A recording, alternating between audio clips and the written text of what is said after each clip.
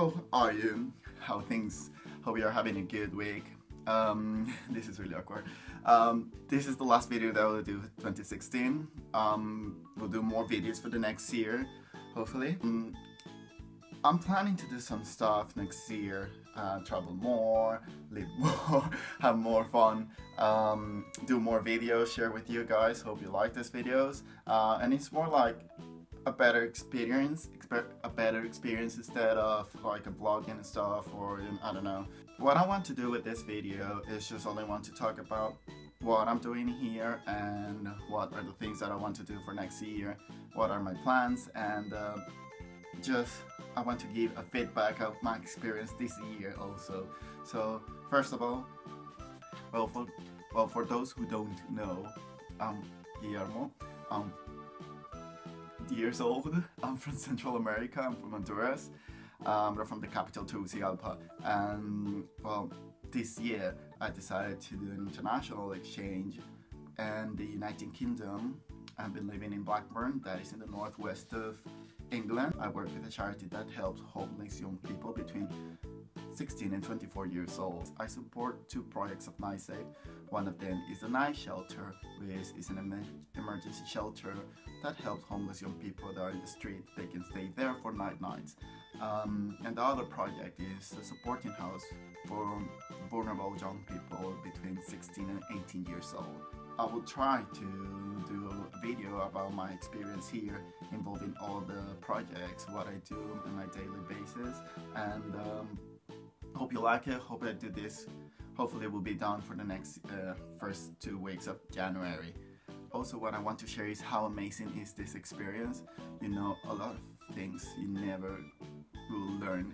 I don't know maybe it's something really difficult to explain but somehow it's really rewarding at the end of the day. Um, we might have some ups and downs but it's something that I really like I think if I didn't like it, I would quit, like, I don't know. I encourage you to do something in your community, in your local community. Uh, if you're planning to do something abroad, um, take a chance, do it. It's something that is difficult to explain, but it's something amazing. Um, you improve your language, which is English, but it's also travel.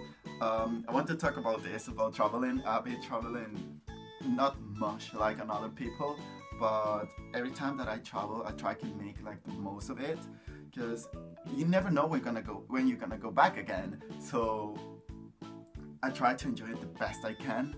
Um, it has been a really nice, nice year. Although the first six months was really difficult. It's something really difficult, and um, to get used to a new country. Um, I was having a lot of problems in my life, but one day I just woke up and said like, what I'm doing like with my life? I'm just wasting my time sleeping and just being uh, unhappy with myself. And I decided, no, stop. From now on, I'm gonna be something. I'm gonna do something different. So I start doing something new in my life, encourage new people, meeting new people.